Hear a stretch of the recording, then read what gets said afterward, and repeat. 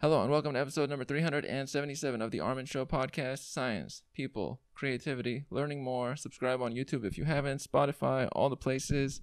It's super cool and continuing to grow. On this one, we're back in person. Wonderful and exciting with our guest, very cool YouTuber, founder, technologist, John Coogan. Welcome to the show. Thanks for having me. I am very glad to have you on. Glad to have you here. There's something nice about people with people in the moment, in person. It's hard to recreate virtually in a way. Now, we have a variety of things to talk about as far as your happenings. But before we get into those, what are some things that are important to you? I wanted to start off with what's important to you in life, and then we'll go from there. It's a broad question. Um, I mean, I think family is very important. My family is probably my number one priority right now. Mm-hmm. Um, but you know, more broadly, technology is important. Entrepreneurship is important. Democracy, capitalism, these concepts are pretty important. I think. What I wanted to go through a few of these variety questions before we get into specific topics. What are some things you are liking about the current time, 2022, as it ends, and things that may seem off in 2022? Um, well, I think that obviously the the broader capital markets have sold off pretty significantly. Um, I think that's obviously hurts a lot of people. A lot of people lost a lot of money, but I think it's still an amazing time for innovation and technology. I mean, just look at what's going on right now with GPT and AI chats. Like, there's clearly, you know, fundamental breakthroughs happening in technology that are completely disconnected from the stock market. So, um, I'm very, I'm very optimistic about um, just the progress that's happening, and it seems to be completely disconnected from valuations, which is fine. Um, as long as as long as the stuff happens, that's what's important. You mentioned valuations, and GPT is super cool, by the way. I've used it. Fun, Yeah. fun to use, fun Really to play cool. with. It can generate quite a bit. Do we have an exciting landscape right now with artificial intelligence? Is it a new, fun, exciting time, or are we? Will it get muddled very quickly? Every time there's a new industry, it gets muddled. Quickly. Yeah, I mean, you can already see that there's a hype cycle brewing, and there are a lot of companies that are going to raise a lot of money at inflated valuations for products that don't necessarily have long-term business plans, and it's a little bit more of just, oh, I'm going to take the hot thing and put a little twist on it and advertise it a little bit, and maybe it'll get some traction. But who knows if that's a enduring business? Um, that's a little bit inevitable. Um, you know, hopefully the the smart people will avoid working on those projects, wasting their time with them. But at the same time, like there's nothing, you know, like it's pretty harmless to create a, you know, chatbot that helps you, you know, train your dog or something. Some little niche use case that maybe it's not around in five years, but it's fun. I'm thinking a lot about the holidays. Like it's really hard to shop for folks these days because everything's digital. Like I can't if I want to give you, you know, something great. I used to be able to get you a DVD box set of a movie. Where's my DVD box? set? exactly. It doesn't exist anymore. If I give you a book, you'll probably say, eh, I wanted the audiobook anyway. um, That's true. you know, everything's kind of become digital, so it's hard to shop for people. So, yeah, maybe like an AI generated portrait would be cool, or you know, a, an AI generated short story. I just today I just wrote, I just prompted Chat GPT to write a short story for my two year old son, and like that's just fun and interesting, and it's not stealing a job. I was never going to find a creative short story writer to make that, but now it's just something. It's like a bedtime story that I can read to him. Now, somebody's going to wrap that, and it's going to be a product, and you're going to see ads for Instagram, and maybe they make some money. You know, maybe it becomes an enduring business. I probably it's niche, and that's fine. You know, Right. Hmm. That's kind of funny. He'll ask, "Wait, who wrote this?" I can't tell you exactly, but it was a culmination of algorithms and behind the scenes. That's Yeah. So that's cool. Right. I used it to create a bunch of interview questions out of nowhere. Yeah. And it was neat. You give it a you know category of person, and it gives you like what to ask a fisherman or such. sure. So that was interesting. I wonder what it'll do to education. That's the thing that keeps It's just a coming up. great search engine. Yeah, Right. It's just really, really good for searching, but you still have to check, fact check everything because some of the stuff that comes out of it is like wildly incorrect. This is a good point. Way better as a search engine for like programming or things where you ask it, and then instead of Google leading you to some certain text-based things. This is actually programming examples and Yeah. explanations. Yeah, yeah. It's very succinct and it gives you a really thoughtful answer. Just sometimes it's wildly incorrect. So, you know, you got to know your stuff to be able to tell if it's telling you the truth or not. Right. We check it. We have to Yeah. check. Somebody yeah, has to check. It'll get better over time. Right. That's cool. Now, as far as technology, this one came up with me earlier. I'm in Los Angeles. We're in Los Angeles, Yeah. and I've before um had a companion that was in Northern California in the East Bay, and that area is quite cool. What would you say? Which area is more packed with knowledge-seeking individuals, or in I don't want to say intelligence, but those reaching out to learn more or figure out things? Do you notice trends like that? I mean, it still seems to be heavily driven by the number of technical institutions in the area. So, in Los Angeles, Caltech is a great school. Up in uh, you have Stanford and Berkeley in Northern California. On the East Coast, you know, you have MIT, Harvard. So obviously, there's a lot of you know tech savvy, you know, smart, educated people coming out of there. Miami is kind of the new wild card because they don't have a extremely strong, you know, prestigious technical university, but there's a lot of effort to make Miami a tech hub. Austin too, to some degree.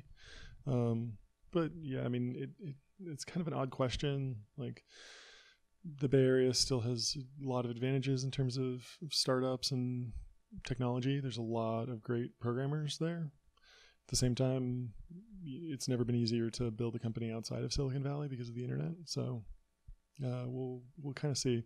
Probably depends a lot on like it's a very individual choice for a founder. Hmm. If your industry just happens to have a major base in, like if you work in the defense technology industry, you'll probably be in Southern California instead of Northern California because this is where a lot of aerospace and defense companies are. So there's an ecosystem here. Right. You're a founder. Take us through what that means to you, what it feels like to be a founder, the steps involved, and how you look at it now from, let's say, the past decade and your founding efforts. How do you see it? Hmm. Yeah, I've been a founder for a decade. I think um, entrepreneurship is great. I mean, it's uh, it's a process of discovery of of, of truth seeking and like re- researching and building something new. It's fun. It's very hard. Um, it's very hard to create a sustainable business that grows in perpetuity for decades, which is kind of the benchmark in Silicon Valley. It's a tough benchmark.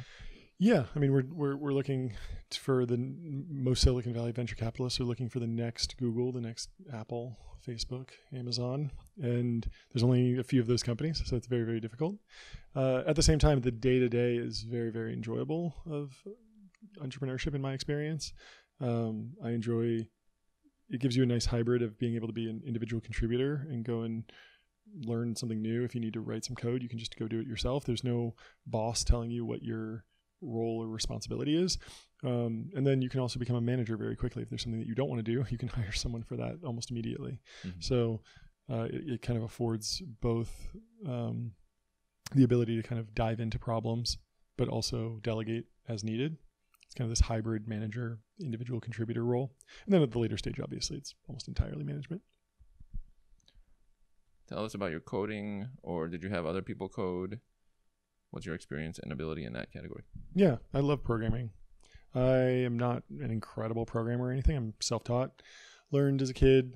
Uh, wanted to make websites and learned a little bit of PHP, and then eventually Python, Ruby for like basic web development in college. Uh, studied economics and Python and R are handy languages for for uh, data analysis in economics and econometrics specifically. And then um, the basically for the last 10 years both my companies have been focused on e-commerce so i've done a lot of e-commerce web development um, l- barely any programming in this latest company a little bit of python to crunch numbers and understand uh, key performance indicators but i like programming it's very good to understand how to do it um, but i've never had a full-time job as a programmer if that makes sense Yeah. That's cool about R. I once had an episode with the statistician who mentioned how much she likes R and has used it for a long time. Big fan of R. yeah That's cool. By the way, do you think of programming as like another language, almost like learning French, like learning another language? Very different. I mean, I'm pretty good at learning different programming languages. I'm terrible at learning other foreign languages. I've taken Latin and I know barely any Spanish or French. It's very, very difficult for me. But programming is pretty easy to me. Um, I don't know. I mean, language seems like a good term for it, but it's obviously in a completely different category.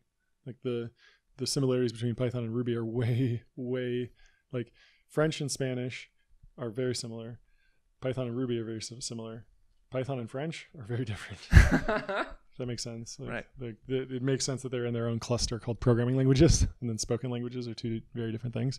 But I mean, fundamentally, it's a it's an attempt to communicate with a computer and and translate between binary and machine code and human readable, basically English text. what percentage of founders have some programming ability that you have come across? It's pretty high. I mean, the majority of new startups that are wildly successful tend to have at least some technology angle. At least it's kind of a tautology because I'm sure that there's someone that's built some massive real estate empire, but we don't think of that as a startup. Right. We, we don't think of it as a as a new unicorn. It's just some guy who made a lot of money on real estate. That's some guy. Exactly.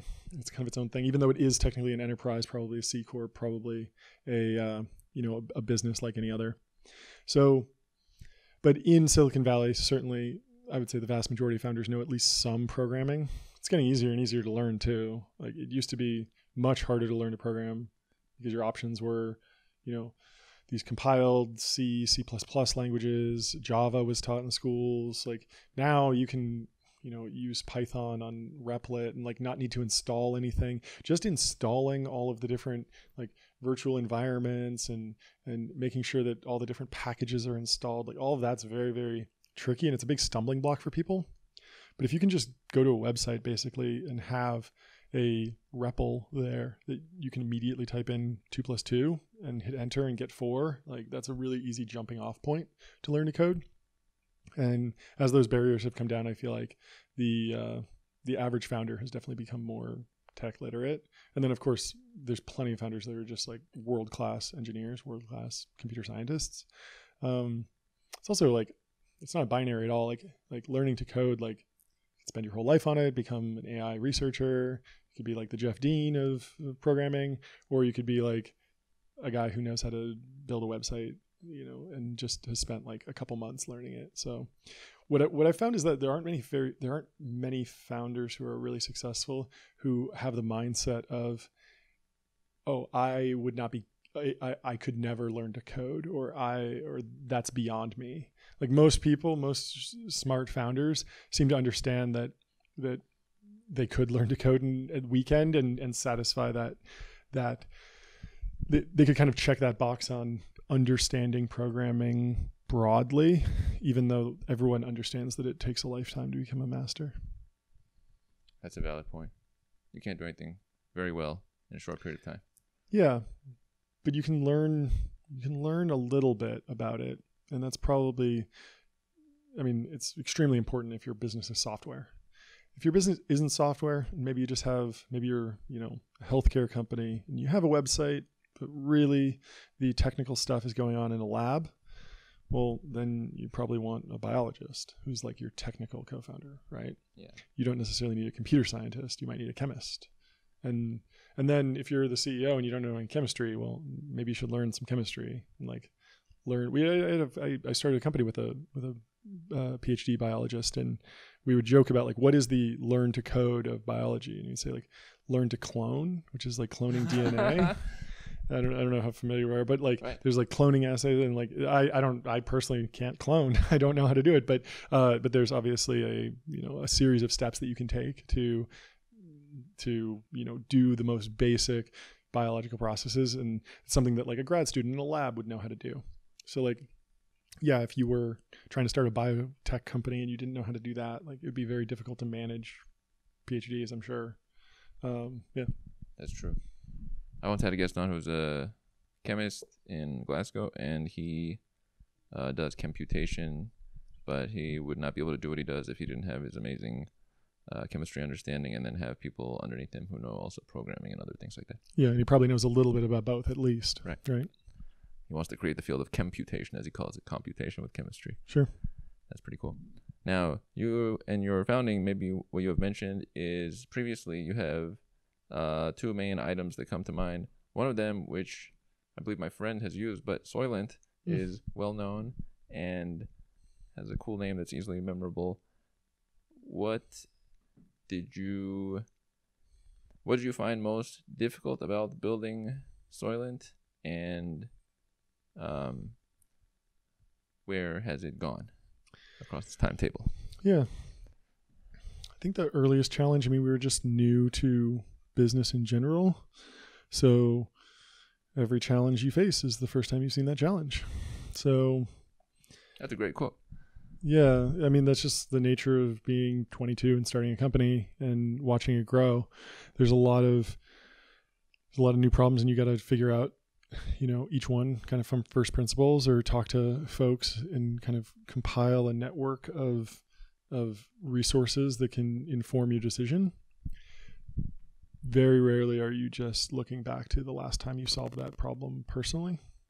So that was probably like the big meta problem think like the more there's a there's a few like more tactical problems just like understanding the price elasticity of the product and like getting the pricing right or moving correctly on R&D to launch the the the right next generation products at the right time.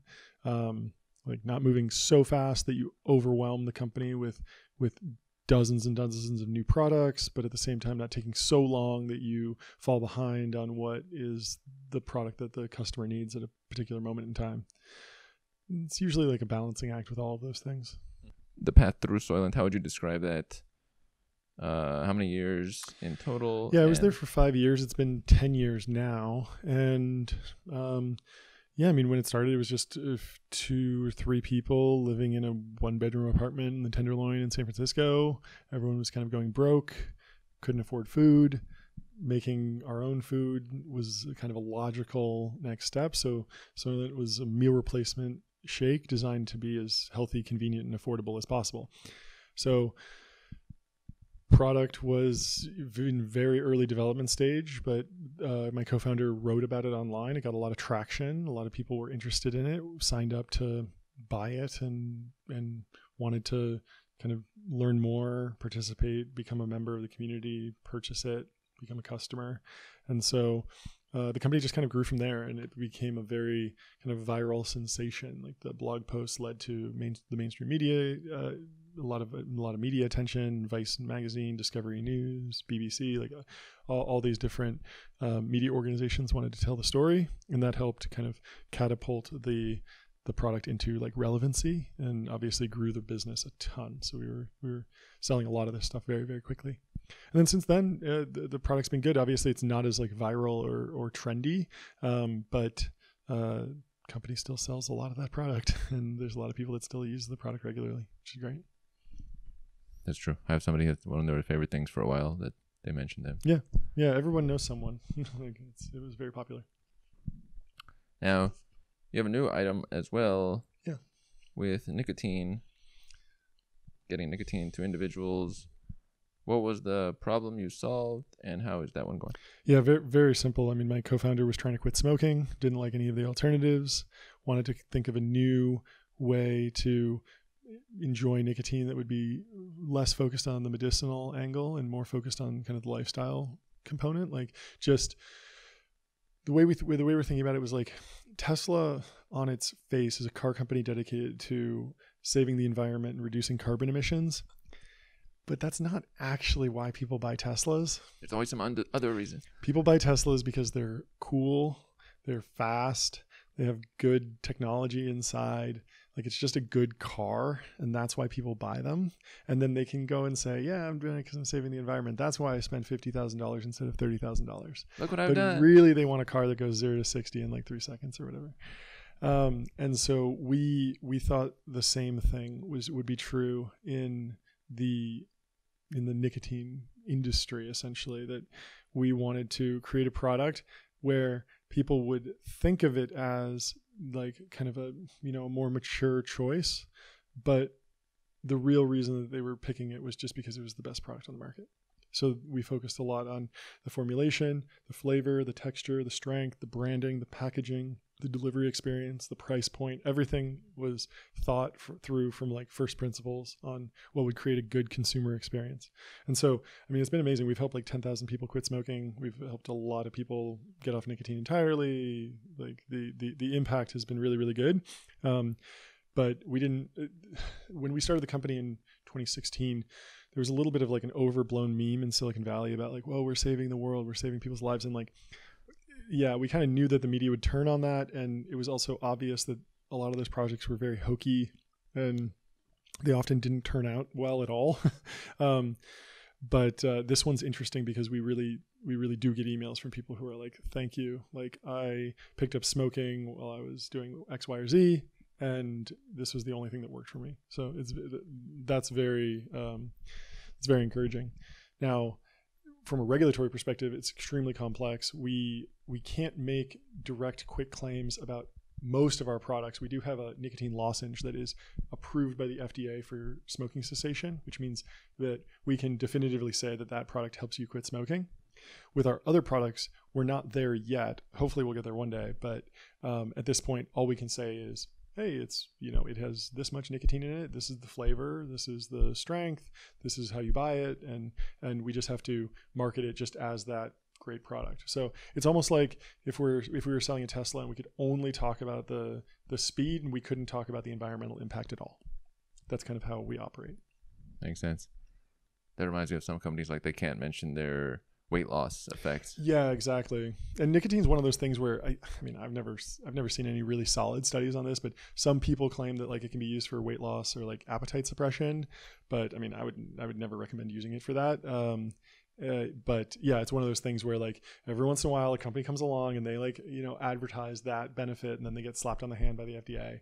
And so a lot of a lot of our a lot of our strategy is just like ideally being like the good actor in the space who doesn't get their hands slapped by the FDA because we actually listen to their rules and kind of can kind of see the spirit of what they want even if they're even if the the rule or the law is, is vague we can kind of figure out okay what are they really going for here? They probably they probably want people not to inhale you know harmful products. So we don't we don't sell any inhaled products right? It's pretty simple. Or we, they don't want people to use the tobacco leaf because the tobacco leaf has carcinogens in it and that's unhealthy. So we don't use the tobacco leaf whatsoever. Mm.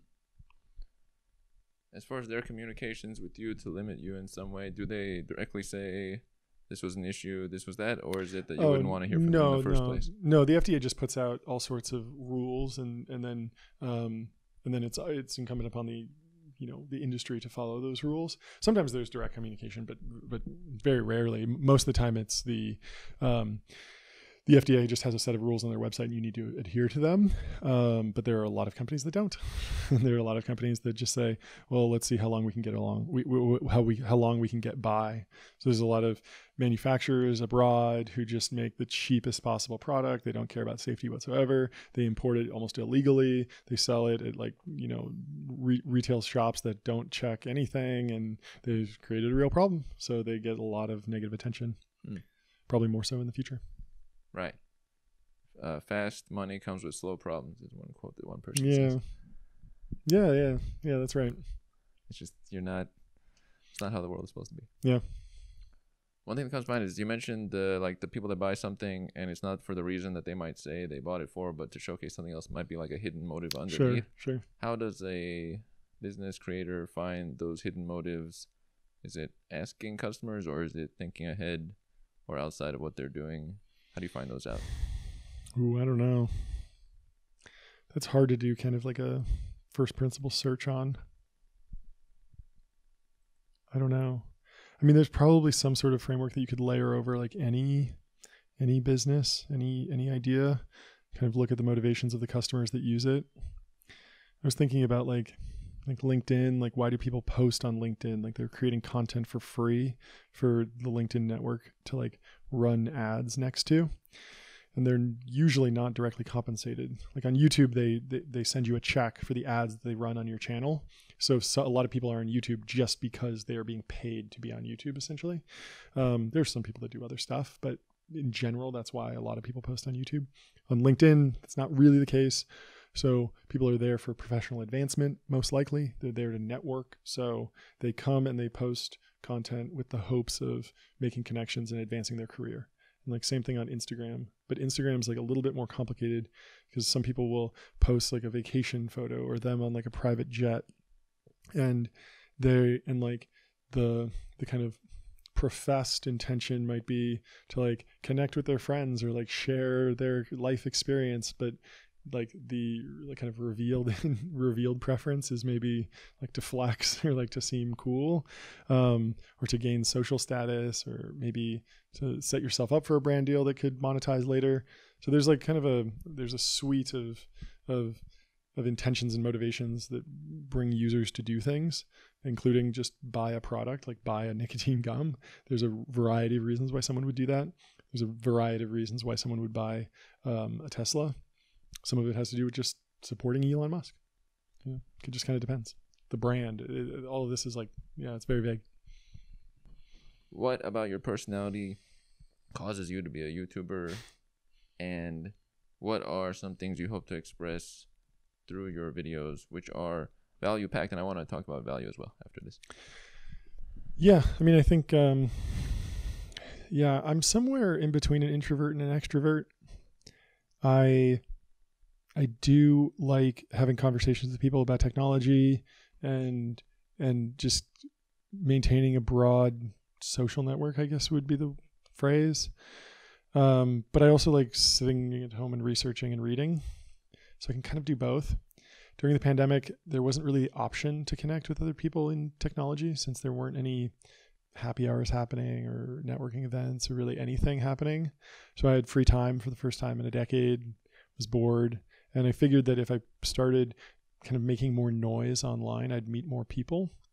And that was, and so I, I started posting videos mostly because it seemed like a unique opportunity, like a like a little bit of a white space in tech. Like there were there were a lot of people with um, there were a lot of people that were on Twitter, and there were some people that had um, newsletters, and some people that had podcasts, but no one had really done video essays before. Um, Garry Tan had done a a vlog, which was very cool. So it was stories from his life, his trips, and and he would do some video essays, but they were a little bit more tailored towards like his experience personally, which was amazing experience. He's a really successful venture capitalist, right? Um, and and he's been a founder, a designer. Like there's just he has tons to share. Um, so I, I wanted to separate from that and not be like a Garry Tan copycat. That would not fly. Um, and so it just tickled a lot of different, it like scratched a lot of different itch, itches in the sense that I like video editing, I like cameras, I like 3D rendering and Cinema 4D and After Effects and motion graphics and all those different things. And it was kind of a the the videos were a way to kind of bring all of that together. Mm-hmm. Um, so it's just a lot of different skills that I'd never really produced a full product around. I'd just been tinkering with for a long time. This was like a way to bring bring everything together. And it also helps with public speaking. I think it's a big part of the reason why I I really like going on podcasts is because I feel like it's just a skill that you need to build over a very long time. I'm sure that you've gotten way better at interviewing over four years, right? Yes. And uh, yeah, so just like a lot of curiosity, a lot of just desire to like put a bunch of things together and no real clear business plan. I wasn't thinking like, oh, this will be a job in the future. It was more just like, this will be fun and it probably won't go poorly. It'll probably wind up being valuable in the future. I like that you mentioned that you have a lot of the pieces that were there and you put them together in something that fit that. Yeah. That's a smart move. Taking what you already have because that's your foundation, and then okay, I can branch yeah, off. It's really important to find like your unique your your unique value prop. Um, and for me, that's like I have an economics degree. I'm a programmer. I'm a founder. Like there aren't too many people and I also like cinematography and film, and I can talk on camera. So there's a lot of different things that come together to kind of create a unique, a unique experience that isn't directly copyable. If you're like, I, a lot of times I'll tell like a pretty, a pretty straightforward story about a company that really anyone could tell if they just did the research. But uh, when I'm at my best, it's like when I'm injecting like my unique perspective that only I have, and that's something I'm trying to work on more it's a little bit tricky, but but um, but that is something that's like that creates like defensibility. This is very true. When I was watching your material, I thought to myself, I would not. It would be such a stretch for me to do the same because of my different way of presentation. Sure. So that sets you into a space of your own, and the more you do it, the more it's your own. So that's a nice feature. I like that concept too that you're bringing up. It becomes your own you already were in a space that you're like, okay, this is me in general, but then you do it more. Yeah. Now it's like a pillar of you. Yeah. I mean, a lot of people start by just copying something directly. That rarely works. Mixing like two to three things together usually works a little bit better. And then eventually they start sprinkling on things that like only they can bring to the table. Um, I didn't really, I'm trying to think about the early, early videos. I didn't really have too many like templates to like copy. Um, but I did try a lot of different things. Like I tried unscripted, where I would just put up some slides and just talk freely about the notes that I had. Then I started scripting things out and and doing lots of like charts and graphs. And I don't know if I was looking at looking to anyone in particular, but it was kind of like a it was kind of like just a I mean, that was probably the first version of like mixing two things together because it was like the type of talk that you would see at like YC, at like Y Combinator, or like or like a typical like venture capitalist might give about like how to raise money from venture capitalists, like very well trodden topic, and they might have a slide up that shows you know a bar graph of amount of money raised over time or something like that, and my unique little extra input would be at making that graph animated just because I liked After Effects and I enjoyed animation. Um, so that was the first that was the first like added an extra layer. But then I started adding in like storytelling and and and interview segments and like all sorts of different things that kind of mixed up and created just kind of a, a, pretty unique product. There's still things that I'm pretty close to other channels that do that do similar things, and you can kind of still say like, oh, if you add this person and this person, you kind of get John. Um, but you know, the hope is that that kind of you know becomes less and less over time.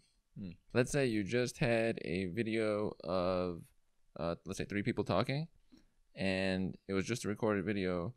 With your abilities what's the first thing you would do to take that from just a video to more interesting? With any sort of effect or editing? Oh i mean yeah the, the, the editing effects like that, that that doesn't really it's kind of like the question of like can you fix it in the edit? Like i don't think there's that much that you can do. Like you're much better off like focusing on the story and like coaching those people into telling a compelling story with like a beginning a middle and an end like a three act structure.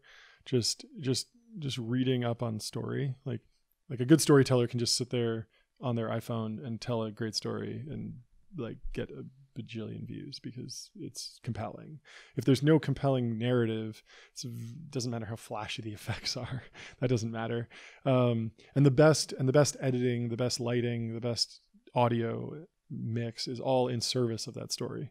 So this is something that you know you can spend years on. I'm just scratching the surface of this stuff but in theory it's like if i'm telling a story about something that's a little bit more mysterious it's a you know, we're telling a mystery how did this thing happen? How did we get here?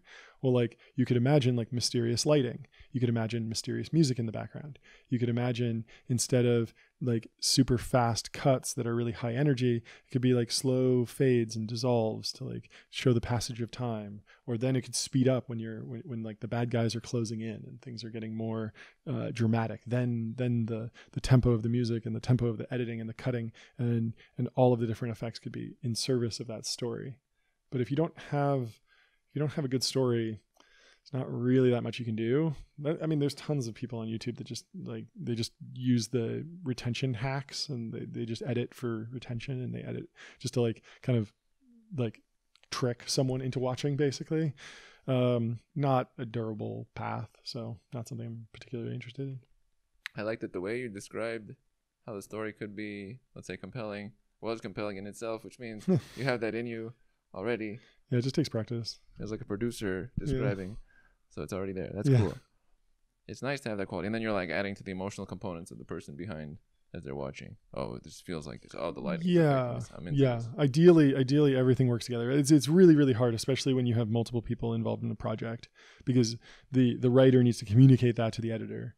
Um, it's it's a little bit easier if if um, and and I, I think that's why you see so many people on YouTube that are completely solo and they become absolutely massive because they have complete creative control. So at every moment, they're like, well, yeah, of course I'm going to use mysterious music during the mysterious segment because I wrote it and I know it's mysterious. Whereas a- lot of times people will have a writer who maybe wrote that this part was mysterious, but then the editor didn't get the, the memo. And so that can create a lot of confusion. So having like an integrated team, if you have multiple people, and most of these bigger projects have multiple people, um, that that becomes like a real challenge. And, and that's the role of like a director, right? Is to like bring everything together. Mhm. So yeah. Made me think of speed here. How relevant to you is speed of getting the idea started, going next step, next step? Yeah. Because it is a one person I mean, operation. it, it's it's a hack in many ways. Uh, information density, um, the YouTube algorithm rewards retention, and the amount of time that somebody spends watching is directly proportional to the amount of impressions it'll give. Mhm. So, Speed of production. oh, speed of yes. production, yeah, um, yeah. I I think it it changes. So uh, at the beginning, if you're doing anything, learning the program, chemistry, anything like just putting in the time is the most important thing. Going to the gym, like the person who just goes to the gym regularly a couple days a week for five years is going to look way better than the person that spends a year thinking of the most optimal plan, goes for like five days, and then like never does it again. Right? Um, like the the the discipline of of uh, and, and there's a bunch of examples of this. The the famous one is like they they had two groups of of students. They said go into these rooms and you have to make you have to sit on a pottery wheel and create a vase. Um, group A, your goal is just to make as many vases as possible. Group B, you have to make one amazing vase, and of course, Group A, the quantity one, created a much better vase because they just got the practice in. So at the early stage, speed of production is very, very important. That's why you see so many people, Casey Neistat, um, who who else has done that? Like David Dobrik. They all did like daily vlogs. Logan Paul, they all, they all they all would put out a video every single day. And now Logan Paul puts out a video like once a month, but it's like really really strong storytelling, really because he's he's gotten in the reps. Like regardless of what you think about him, like he is an incredible storyteller and and very very strong at creating compelling content because he just has made a thousand videos, right? Um, and yeah, there's a lot of people that are like that where they've just put in the work. And so um, yeah, staying on weekly was really important for me at the early stage. Now I have a little bit of a little bit of an eye, so I can I can put a little bit more time into things. I know a guy who puts out like one video a year and does fine. Like th- there are some people who just know that if they just put more and more time into one thing, they'll they'll they'll do really well. For me, I'm still in the mode of of like I'm not quite sure that I can always detect what will do well. So I'm still in the learning phase half that I'm like half in the learning phase. So um, I try and keep the production moving pretty quickly. Mm. But yeah, That's kind of cool. Well, once a year, that's very uncommon. extremely. Right, but if it can work, it can work. Value in your videos. What is value to the end user, or how do you see that part? How do you know you're bringing them the thing they're looking for? Is it as simple as like if somebody wanted to see the soccer highlights, you show them the soccer highlights, or is it more like you are doing a lot of work so that your 10 hours of time is put into this three minutes of time for them? Yeah, I think it's like it's infotainment fundamentally. That's the genre. So informational entertainment needs to be entertaining. There needs to be a story. Maybe I mean I'm probably pretty light on the entertainment side, um, but the videos should be enjoyable to watch. They're not like laugh a minute. There's not tons of jokes or anything. They're fairly serious, but they do move quickly and I try and deliver a lot of information. It's basically like everything I've been thinking about for the entire week in just summary form. Um, and then just boiled down so that it's just as condensed as possible and just no no waste. We just trim out everything that's wasteful basically. Just try and be as succinct as possible. Um, but yeah, I mean it's it's difficult. Like you're not you're not always going to be able to you know blow someone's mind with like an entirely new insight like almost everything there's at least a gr- small group of people that know but a lot of times it's like I, I had a video on the metaverse that got 8 million views and and from my from my perspective all of my friends were like completely unimpressed by those ideas because we'd all been talking about them for months right? But to the 8 million people that watched that it was new. And so figuring out you know what is the what is the information that like the next group because like you know there's like this adoption curve for technology where you have you know the, the the founder the creator the early adopter the early majority the late majority. There's kind of you know over time there are, i mean there are people that you know are just starting to use smartphones now right because they're like oh, i like my landline those are like the latest adopters. It's very rare now, but you know, I also know people that were using smartphones, when, you know, over a decade ago, right? Uh, more, uh, maybe like almost 20 years ago. Um, and so, so figuring out, you know, what what are the ideas in in my inner circle that are going to propagate beyond to the the you know the early majority the late majority and and how can i how can i kind of educate them in an entertaining way. Mm-hmm. Yeah, it doesn't have to be always entertaining if that's not your thing. It can be informative. Yeah, it's the thing that speaks to you the most. Yeah, it's not. It's not. Uh, it's not supposed to be a Wikipedia article. It is supposed to be a story, but there's supposed to be a lot of information in there. It's supposed to. I'm. Supposed, you're supposed to walk away with like, oh yeah, I definitely took away like one or two new facts or or like opinions that I hadn't heard before that's that's the value by putting out messages on well-known topics and on people that are popular do you get sometimes have you got have you run into any difficulties pushback from people like oh this video said this we were not a fan anything not like that really. Not i mean really? the comment section is always such a mess. Like every, every video you upload you get you know a million bot comments and then you get a lot of weird comments. Um, sometimes they'll just be like factual inaccuracies like oh i misspoke there or you know misquoted some data or something. A lot of times you'll get you'll get just comments from people who think they have they like they think they have a correction to offer but actually it's either addressed in the video later or they're wrong that happens a lot um, so yeah nothing crazy mm-hmm. like uh, I'm sure at some point there will be. Uh, I mean, that's part of like YouTube's a little less combative than Twitter. Because Twitter, if you if you tweet something, I can just quote tweet it and be like, "Look at this idiot!" like everyone should like go and attack this guy, and it's like very very hostile.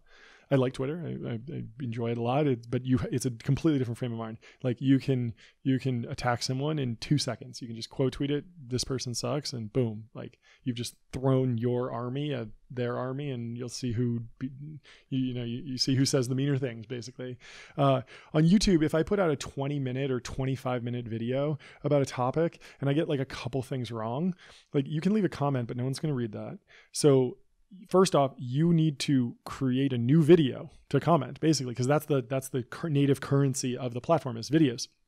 So you need a creator who will who will take the time to make a video about my video saying that i'm wrong. It could take like days. John takes, was wrong. Yeah and that does happen. Like uh i mean like coffeezilla is always calling out different YouTube channels for promoting crypto scams and he does a very very good job of kind of like acting as like the the police chief of YouTube and he goes around to make sure that everyone is behaving ethically and if you if you break the rules even if even if the SEC isn't coming after you if you just if you're if you're playing it too fast and loose like CoffeeZilla will come after you which is I, I, think a benefit to the to the ecosystem, um, and then like the, there's the same thing for the historians. Like uh, I think Johnny Harris had a video about uh, about Europe and, and Europe's expansion, maybe in the 1600s, 1700s, something like that. Um, and there was a historian who said, "Oh, he simplified a bunch of things. He got a lot of things wrong." So he put he actually made a video full of corrections to that video. And that was a really great uh, thing because everyone watched that video. They realized that there were some things that Johnny had simplified, but then uh, Johnny Harris actually reached out to the guy and they collaborated on the next video to make sure it was factually accurate because this guy was a real, real historian. And Johnny Harris, he's a Vox reporter. He's, you know, a little bit more of a storyteller. So there's always this balance of like the facts have to be correct and then you can like weave the narrative. And sometimes if you let the narrative get take take the front seat, um, it can be more enjoyable. It can be more on the entertainment side, but then it's less on the info side. And so you need this like base layer of like ironclad facts, and then you can put a story on top of it. Sometimes the story's not there. Sometimes the facts are are so confusing or so complicated that the, the story won't really care, uh, won't really like carry. Um, like people want to hear a hero's journey. They want to hear a person who who was living an ordinary life went out for adventure had a bunch of you know fails failures and uh, and and fought back and eventually was victorious right? They want a clear villain. Sometimes that's not the case. Sometimes the world is more a little bit more messy. And so there's a desire to simplify these stories um, but if that if the facts get in the way of that like you might you might get someone making a response video. But fortunately like i'm not big enough to really attract that attention and i try and lean like I, I'm still leaning like very, very much on like the factually oriented side. And I think if there's a critique of my content right now, it's probably that it's it's there's not enough of a story. There's there's there's just it's just fact, fact, fact, fact, fact. Because that's kind of the way I think. Um, but it'll get there. I like that. I noticed the detail oriented nature of your content and that if there is some little thing you will put in the description and correct it. Yeah pretty easy to do. Uh, pin a comment that, that that stems all the bleeding if if someone's upset about you mispronouncing something. Is if you take care of it, then usually the individual that even corrects their own items, I think they'll never have an issue because the people that have an issue go off into maybe incorrect territory way far off until people are like, hey, hey, hey, but you're almost already correcting yourself. Yeah, I mean the bar is also so low. Like on YouTube, like like the bad actors are like actively promoting like get rich quick schemes every single day. so like if like if if you know if some infotainment YouTuber like misquotes a date or something or like gets the if I say million instead of billion something is it the end of the world? Like no. right. as opposed to someone who's like actively trying to get you to put all your money into something that they're just going to steal. Like there, there are much bigger fish to fry on YouTube. That's true. Yeah, some things don't go uh, corrected; they're just left alone. Yeah. Yeah, it's just it's eh, or people just kind of know, or or they, they there's people understand. One thing that you reminded me of is that the individuals that support you are your supporters, but then the individuals that challenge you, maybe in detail, I would say are still closer to you than the general public because they're in your space and you can collaborate later. Yeah, yeah. At least they're aware. Right. I wanted to try this thing where I would throw out a few topics of interest of technology at this time sure. and have your thoughts on each one. So because they're in some of your content or in the general discussion. So either uh, companies or concepts or names. But uh, currently the one we mentioned earlier, but artificial intelligence thoughts. Yeah, I mean, huge topic. Decades of work going into, you know, an overnight success. Very important technology. Very good. Very interesting. Hard to hard to exactly predict who will be the biggest winner. There are a variety of folks that could wind up becoming the the victors could wind up being the data centers that make the most money. These algorithms are expensive to run. Could be the research labs that make the fundamental models. Could be the product companies that build products on top of the models. Could be just the people that wind up using the models. Um, it's it's a little unclear. It's a little early to say. I think OpenAI has done some really really incredible things, and they seem to be maintaining their lead, even though they only had like a monopoly on image generation for a few months before Midjourney and Stable Diffusion came out. They they now have a new monopoly on Chat GPT. We'll see how long that hap- how that how long that maintains until there's an open source or competitor that's as good or nearly as good. Midjourney and and Stable Diffusion, I feel like are are close enough to DALL-E to take market share from DALL-E in the sense of how do you monetize that? I don't know that there will be a uh, that there will be a, a like a, a, durable business in image generation for OpenAI to maintain for a very long time. Um, but it's still really really important research and it's very very cool. Uh, in general, AI's it's amazing because you don't have to go looking very far for use cases, which was the big problem with the crypto uh, wave. So that people were always saying, well, you know, how, like tangibly, how does this work? How how is this better? If I if you say um, we're going to create a crypto podcasting network, how how does that benefit you as a podcaster? You probably want more listeners. You want your listeners to have a good user experience, be able to listen to their podcasts while they're on flights. You want to be able to engage with your community. You might need you might want to monetize with them and have them pay for premium podcasts or something like that. Um, it was always unclear if the crypto stuff was necessary there or if it was just a kind of an add-on.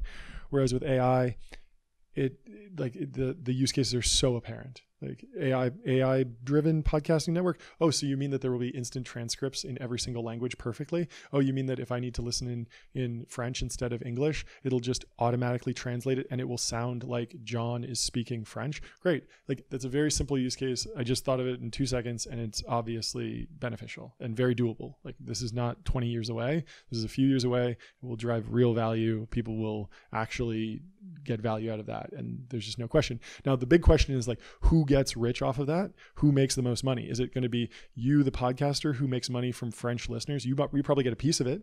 What about you know the the the AI research lab that trained that model? Will they be able to hold on to the intellectual property and the rights, and, the, and will they be able to put that translation API behind an or that translation model behind an API and charge for it, so that every time you upload, you have to pay ten cents to translate it into French?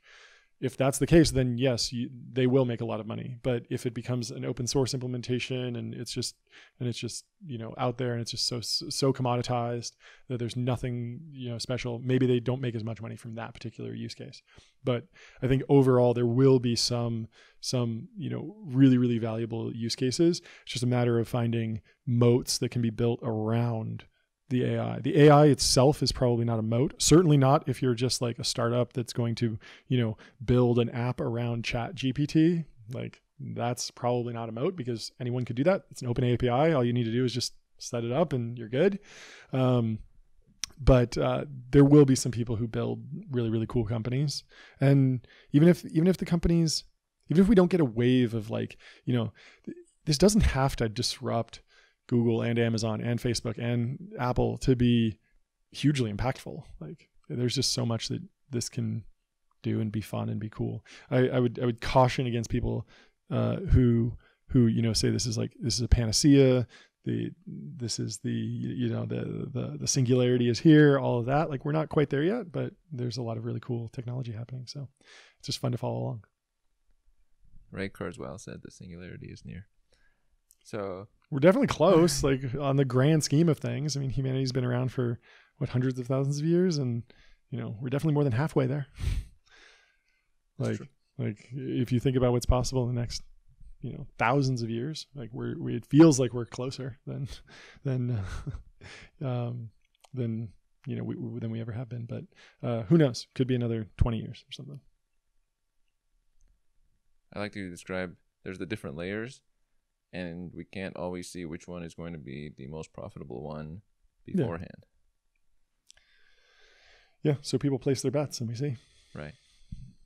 Have you seen that by the way on you can option markets or bet markets where you can bet on basically anything? Yeah. yeah. Prediction markets. Yeah, oh, prediction yeah. markets, yeah. It's cool. Robin Hanson uh, helped work on that and I talked with him once. Yeah. We've heard of him. He's a cool guy. He wrote The Elephant in the Brain with Kevin Simler I have two last questions for you. Sure.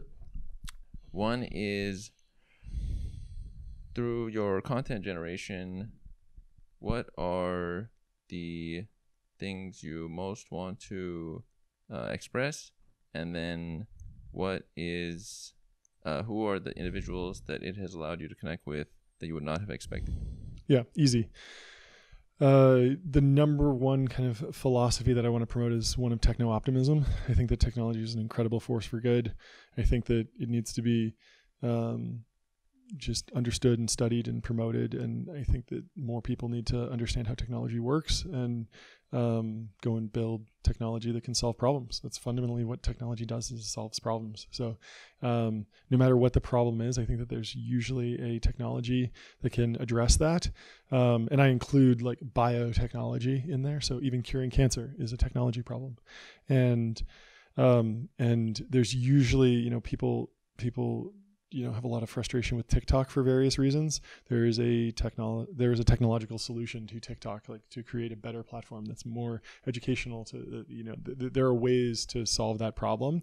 Of course, um, you know it'll probably be solved politically before before someone does that. But there certainly is a is a technological solution to most of these problems. So um, that that is definitely something that I want to promote. And um, there's a lot of negative content on YouTube. There's a lot of people that are are putting out kind of depressing content about how everything is bad, every company is evil, everything is evil, um, and they don't even have a consistent philosophy because in this in one breath they'll tell you like, uh, you know, Saddam Hussein was the most evil person ever, and then they'll say America was the most evil for going and killing Saddam.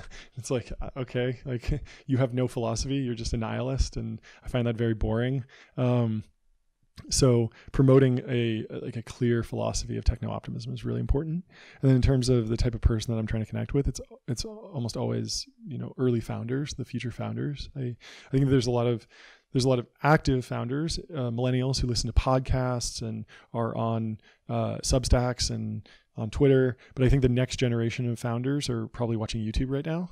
Maybe on tiktok too. Um, certainly in minecraft and roblox and and coding and, and tinkering. Um, but uh, YouTube is a unique way to reach them at a younger age before they start companies. And so um, that's always been the most impressive people that I talk to are just the very, very young entrepreneurs who are already building things in high school. And I usually have to be the one to tell them like, hey, maybe like, uh, this is really cool, but you should finish high school and then you can think about doing this full time. Maybe maybe you don't have to go to college, but uh, I don't know about dropping out of high school. Who knows? M- maybe maybe that'll work out for some people. Um, but uh, school is a unique time to to get to just go and explore things with very low risk. Whereas if you're building a company, there is some significant risk to that. Um, but yeah, just meeting young entrepreneurs and and hopefully just giving them some historical context. I'm not even giving them like specific advice.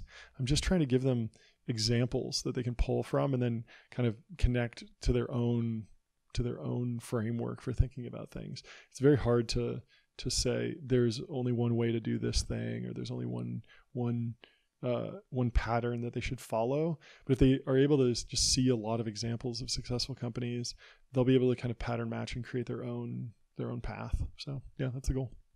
That's cool. John, where can people find your material on the internet, or where would you direct them to?